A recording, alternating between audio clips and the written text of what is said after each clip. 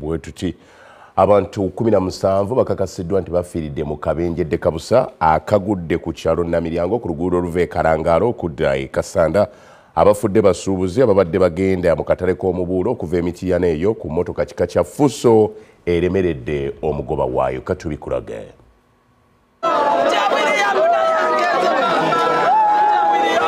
emiranga n'okwaziirana bisaanikidde ekyalo namiryango ku luguudo oluva e kalangaalo okudda e kasanda emmotoka ekika kya fuso namba uba 1 65 v ebadde eva emitiiyana ng'edda erubaali mu katale k'omubuulo. Bw'eremeredde omugoba waayo okukkakkana ng'egudde era abasuubuzi 17 entamu ezaabwe baavuunise dda abasuubuzi abalala balumiziddwa nnyo ne baddusibwa mu ddwaliro emitiiyana nga biwala ttaka kuba bafunye ebisago eby'amaanyi omuli n'okumenyeka amagulu.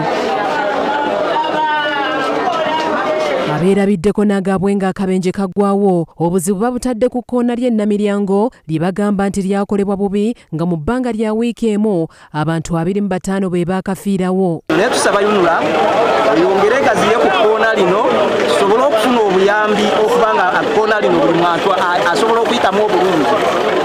Ekyo kyetusaba yunula ne gavumenti okutwaliza awamu. Naye nga kivudde ku nkola embi ey'enguudo